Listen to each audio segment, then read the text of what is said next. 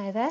Um, we're looking now at the dew point profile and plotting onto a profile. Okay, we have done all the hard work, we've done all the calculations, we've worked out the boundary temperatures from the inside surface, 23 degrees, um, all the way through to the brick, the other side of the brickwork, which is effectively the outside surface.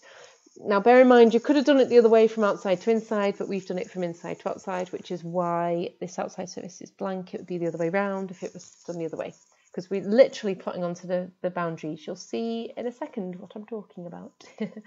so um, first up, we make sure that along our y-axis we have temperature.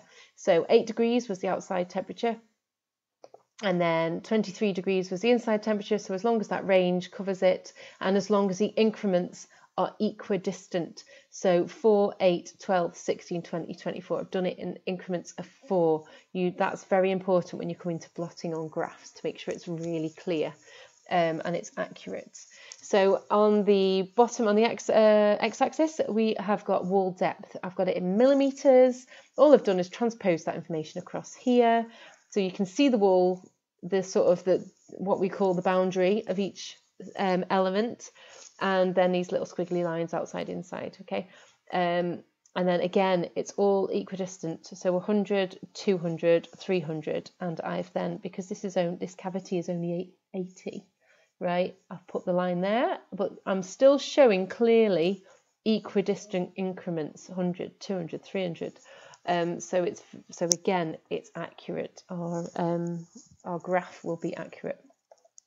Okay, so first up, um, I'm looking at my inside surface to my plaster. This red line here shows me it's gone from 23 degrees to 22. And then I just keep plotting all the way down to 18, 9, 8. There you go. There is my boundary temperature. Okay, so every single boundary, that's my temperature profile.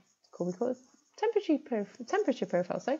And then we move on and we say, well, actually, the dew point. So where is it going to be 100% um, humidity? Where are we going to be worrying about there being dew or condensation, that sort of thing? Well, down here, I'm all right. Oh, look, I'm plotting my points. I'm okay. Oh, the blue is below the red. We're good. Oh no, what's happened here? At where the cavity is finished, so once it's passed through the cavity, the vapor pressure within that area is actually at 100% humidity. Look at that, there and there.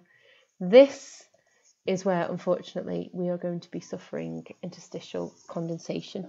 Okay, so this is where we are at 100% humidity. This is where there is no more um, contain. You can't contain any more water, so the water is then going to be visible. So this is where I would be worrying about condensation within my material. Okay, so that's basically how you draw your profile. Um, okay, have a go. Good luck. Thanks. Bye.